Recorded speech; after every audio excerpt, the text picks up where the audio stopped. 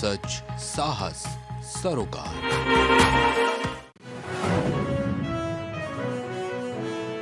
ऐतिहासिक इमारतों में निशुल्क प्रवेश बड़ी संख्या में पहुँच रहे पर्यटक।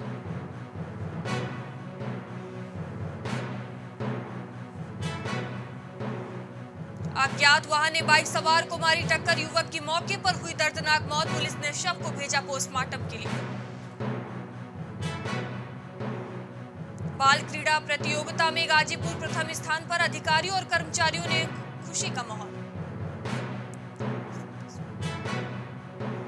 सैतीसवीं Akhil Bharatiya prize money Indira marathon का आयोजन खेल मंत्री ने दौड़ को दिखाई हरी झंडी।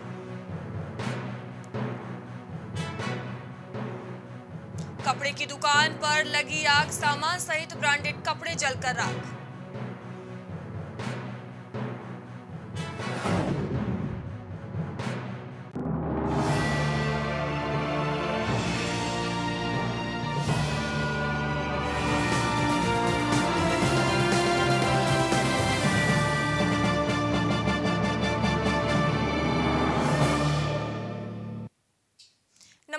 मैं हूँ मयूरी श्रीवास्तव, आप देख रहे हैं प्राइम टीवी। वक्त हो गया उत्तर प्रदेश की बड़ी खबरों का।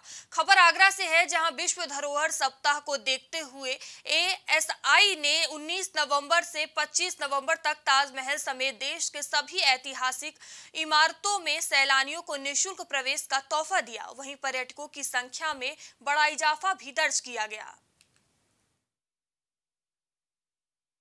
नवंबर से 25 नवंबर तक विश्व धरोहर सप्ताह मनाया जाएगा। ईएसआई ने पर्यटकों को एक बड़ा तोहफा भी दिया है। ताजमहल सहित अन्य इमारतों को निशुल्क कर दिया है। यानी आज विश्व धरोहर सप्ताह 19 नवंबर को ताजमहल और अन्य इमारतें फ्री रहेंगी। आप तस्वीरों में देख सकते हैं लंबी लंबी कतारें लगी हैं। लोग विश्व धरोहर सप्ताह को मना रहे हैं और निशुल्क जो ताजमहल और लाल किला है उसमें काफ़ी भीड़ भी आ रही है। इस वक्त हम मौजूद हैं, आप साफ़ साफ़ तौर से देख सकते हैं। ये आगरा फोर्ट है। यहाँ पर बड़ी संख्या में सैलानी आगरा फोर्ट का दीदार करने आ रहे हैं। और अगर हम बात करें एएसआई टीम की और पुलिस प्रशासन की तो पुलिस प्रशासन के भी यहाँ पुख्ता इंतज़ाम किए गए हैं। सभी जगहों पर पुलिस प्रशासन और एएसआई टीम के कर्मचारी मौजूद हैं। अपने सहयोगी उमर के साथ जीशान अहमद।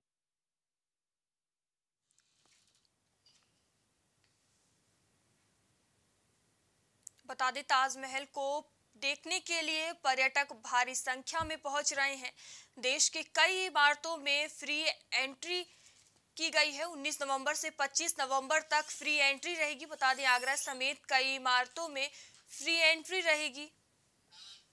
इस खबर पर ज़्यादा जानकारी के लिए हमारे संवाददाता जिशान हमसे जुड़ेंगे।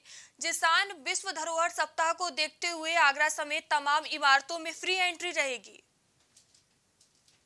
जी मयूरी, बिल्कुल मैं आपको बता दूँ, जो वर्ल्ड हेरिटेज वीक है ये एक सप्ताह तक के लिए होता है, और इसको आज पहले 19 19 नवंबर को इसको फ्री किया गया है। सभी जो ताजमहल है और अन्य इमारतें हैं, उनको फ्री एएसआई टीम के द्वारा किया गया है। कह सकते हैं पर्यटकों के लिए एक बड़ा तोहफा है क्योंकि आगरा में दुनिया की खूबसूरत इमारत ताजमहल है। दुनिया से पर्यटक ताजमहल का दीदार करने आते हैं और देश से भी अन्य जो पर्यटक हैं वो ताजमहल का दीदार करने आते हैं। तो एएसआई की तरफ़ से एक बड़ा तोहफा दिया गया है। जो वर्ल्ड हेरिटेज वीक है उसका एक दिन सभी पर्यटकों के लिए फ्री किया गया जिसके बाद आज हम ताजमहल और आगरा लाल किले पर पहुँचे तो बड़ी संख्या में पर्यटकों की भीड़ भी उमड़ी है। हालाँकि मैं आपको बता दूँ कि जो ऐतिहासिक इमारत है ताजमहल 8 मार्च महिला दिवस को भी ये एएसआई के द्वारा फ्री किया जाता है और 18 अप्रैल को हेरिटेज डे के रूप में जो मनाया जाता है, उस दिन भी ये एएसआई की तरफ़ से फ्री रहता है। तो कह सकते हैं पर्यटकों से हमारी बात हुई तो काफ़ी उत्साह का माहौल है और काफ़ी खुश भी पर्यटक नज़र आ रहे हैं। बड़ी संख्या में ताजमहल और आगरा फोर्ट और जो आगरा में अन्य इमारतें हैं, उन पर बड़ी संख्या में पर्यटक पहुँच रहे हैं। जी मयूरी? जी जी जिसान जैसा कि अभी आपने बताया कि बड़ी संख्या में पर्यटक पहुँच रहे हैं और बेशक निशुल्क प्रवेश है और अभी पर्यटक बढ़ भी सकते हैं तो सुरक्षा के क्या कुछ इंतज़ाम किए गए हैं?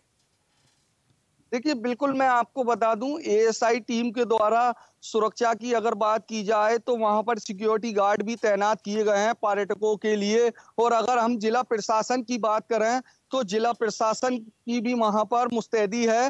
जिला प्रशासन के भी तमाम फोर्स वहाँ पर इमारतों पर लगाए गए हैं क्योंकि पर्यटकों को किसी भी तरीके की कोई अभिसुविधा का सामना नहीं करना पड़े। जी। जी। जुशान एक हफ़्ते तक कई कार्यक्रम वहाँ होने हैं। कौन कौन से कार्यक्रम होंगे?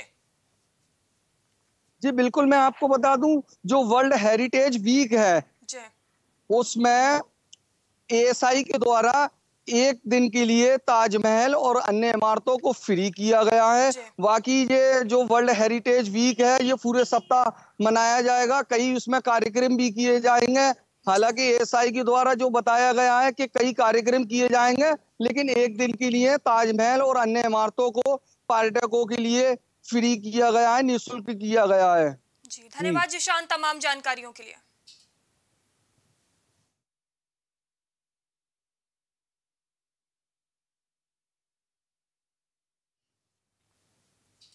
प्रयागराज में पूर्व प्रधानमंत्री भारत रत्न स्वर्गीय श्रीमती इंदिरा गांधी के जन्म दिवस पर अखिल भारतीय इंदिरा मैराथन का आयोजन किया गया, जिसमें प्रयागराज के ऐतिहासिक स्थल आनंद भवन में मैराथन दौड़ को खेल मंत्री गिरीश यादव ने हरी झंडी दिखाकर रवाना किया। बता दें कि आनंद भवन से शुरू होकर मैराथन दौड़ प्रयागराज के यमुना पार क्षेत्र के दांदुपुर से वापस होकर मदन मोहन मालवीय स्टेडियम पहुँची, जहाँ पर इंडियन आर्मी के जवानों ने मैराथन पर कब्जा कब्जा किया। मैराथन में शेर सिंह जयपुर प्रथम स्थान और विक्रम बगेड़िया पुणे द्वितीय के साथ अनिल कुमार प्रयागराज तीसरे स्थान पर रहे। वहीं महिला वर्ग में ओलंपिक सुधा सिंह ने बाजी मारी है।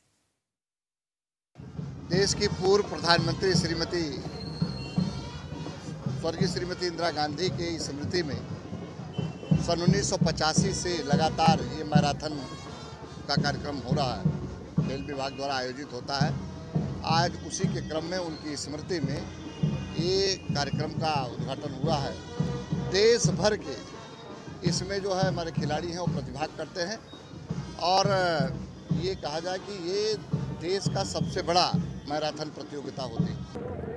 आज जो है सैंतीसवा इंदिरा मैराथन दौड़ है, जिसमें सैकड़ों धावकों ने भाग लिया हुआ है। तो इसमें हम लोगों ने समर्थ अपने नज़दीकी लोग, भाई, बड़े भाई, छोटे भाइयों के साथ जलपान की व्यवस्था की गई कि भाई वो दौड़ रहे हैं, मेहनत कर रहे हैं तो उनको पानी की आवश्यकता तो होगी खबर लखनऊ से है, जहाँ जिला अधिकारी सूर्यपाल गंगवार ने तहसील सरोजनी नगर में जन सुनवाई की। फरियादियों की जन सुनवाई कर त्वरित निस्तारण के निर्देश दिए। समस्या के निस्तारण के बाद अधिकारियों से फीडबैक लेने की भी जानकारी दी।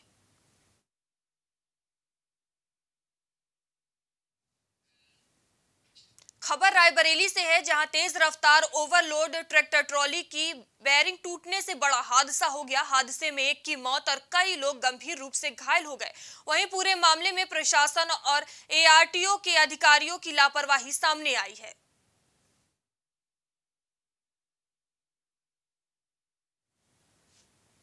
गोंडा में पुलिस अधीक्षक आकाश तोमर ने धानीपुर थाने का निरीक्षण किया। इस दौरान पुलिस अधीक्षक ने शिकायतों के संबंध में अभिलेखों को तलब कर निरीक्षण किया और एफआईआर दर्ज किए जाने की प्रक्रिया से लेकर विवेचना तक की जानकारी ली। इसके साथ ही पुलिस अधीक्षक ने आईजीआरएस कक्ष व महिला हेल्थ डेस्क पर की जाने वाली कार्रवाई के संबंध में अभिलेखों की जाँच की और आवश्यक दिशा निर्देश दिए।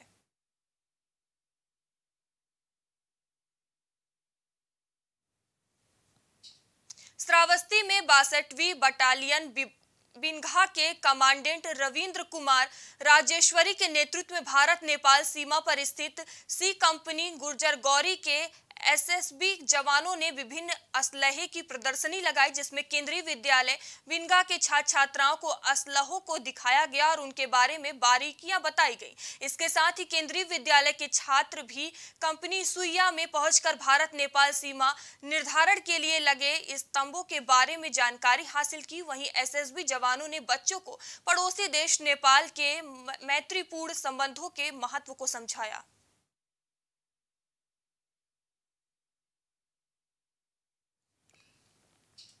अंबेडकर नगर के अकबरपुर कोतवाली क्षेत्र में महिलाओं एवं बालिकाओं पर हो रही आपराधिक घटनाओं को रोकने के लिए मिशन शक्ति के तहत पुलिस अधीक्षक के निर्देश पर एंट, रो, एंटी रोमियो प्रभारी द्वारा महिलाओं एवं बालिकाओं को जागरूक किया जा रहा है।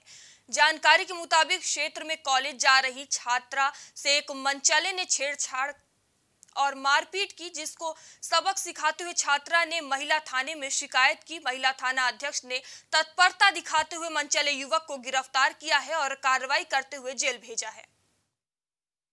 शक्ति के तहत श्रीमान पुलिस अधीक्षक महोदय के आदेशानुसार या उनके आदेशों निर्देशों के आधार पर हमारे, हमारी टीम जो है प्रत्येक स्कूल के छूटने के टाइम पे और जाने के टाइम पे वहाँ जाती है और वहाँ आसपास खड़े लोगों से बातचीत करती हैं कि क्यों खड़े हो कैसे खड़े हो। उस हिसाब से अकबरपुर के अधिकतर स्कूलों में उनका जा, जाना है।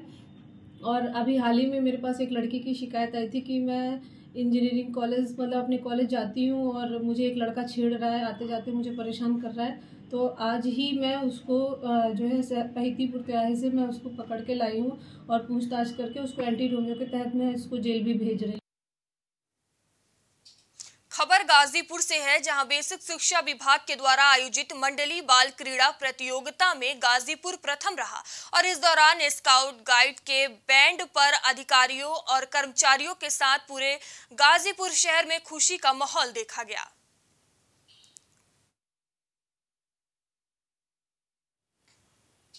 खबर अलीगढ़ से है, जहाँ बाइक पर सवार दो युवकों को तेज रफ्तार से आ रहे अज्ञात वाहन ने रौन दिया और इस हादसे में एक युवक की दर्दनाक मौत हो गई।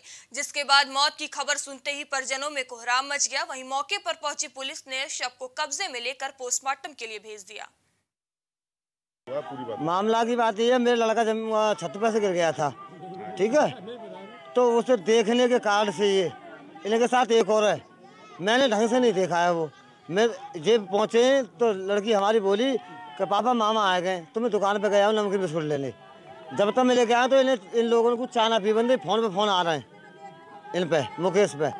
कि तुम जल्दी आ जाओ, जल्दी आ जाओ। तो तुरंत ही वहाँ से भागे आए। मामला जी भाऊ, कि मेरी लड़की के दांत टूट गए लल्ला के। सुबह सुबह तो हमारे गुआ ने फ़ोन आओगे लल्ली, हम बह लल्ली, चाचा के लल्ला के छत में जा दांत टूट गई तो मेरी कोई बात ना, बेटा, ऐसा होगा, आ जाएँगे अब गो लल्ला हमारा गंगीली रहते कम से कम है दो साल डागदर रखे जहाँ? और एक मुल्ला जी है। मुल्ला जी एक डागदर जा तीन है जे तीनों के यहाँ रह रो है। अब जब मिल के और जिनने रुमा में मेरी छोरी चाह बना रही है, उन्हें चाह नहीं पियेंगी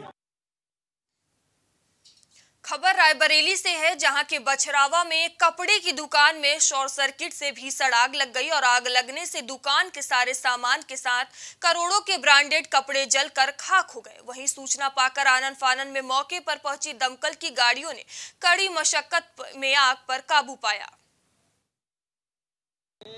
लगभग एक से डेढ़ के बीच में जानकारी हुई कि शॉर्ट सर्किट से जो है आग लग गई धुआँ उठा। छोटा वाला भाई इसी के अंदर था। उसको हमने किसी तरह जो है बगल वाले मकान मिस्त्री शुक्ला के मकान से उनकी छत से निकाला फायर ब्रिगेड की गाड़ियाँ आई लेकिन थोड़ा सा लेट लपेट रहा मामला गाड़ी में। उसकी वजह से थोड़ा सा अच्छा। अभिनंद मिश्रा उत्तर प्रदेश की खबरों में इतना ही। देश दुनिया की तमाम खबरों के लिए देखते रहिए प्राइम टीवी